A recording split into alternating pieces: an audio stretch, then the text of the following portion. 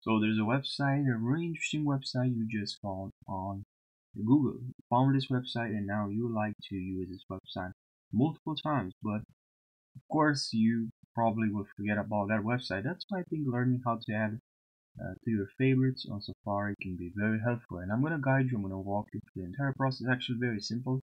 So yeah, let's jump right into this video because I don't want to waste you any second. And here we are on the start page, but uh, because I don't use this uh, that much, so I can uh, click on here and I can enable favorites. But I don't use favorites to see the favorites here.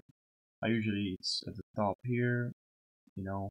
So uh, what you can do is if you want to save, let's say this website, you have to press on your keyboard Control plus D. I think that's the shortcut. Yes, that's the shortcut. You can save. You can change exactly where, name it, description, and then click on Add. Or you can also click on bookmark, but uh, bookmark, and here we have the option to add add to bookmark. And yeah, it's uh, quite helpful. Make sure, of course, you probably already have this enabled, checked, but as I said I don't use that like this clean so uh, if you have more questions related to Safari let me know in the comments section. And subscribe for more tutorials I'll really appreciate it. And uh, if you want to enter book, book bookmarks to edit this you can go to um, here bookmarks. So go here and then click on edit bookmarks. Also click on show bookmarks.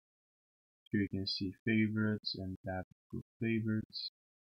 So yeah, this can be very helpful. Uh, you also have this feature on Chrome and I once I switch from Chrome, Google Chrome to Safari, I forgot about this feature and then I I need it. And I didn't realize where I need to go to enable this.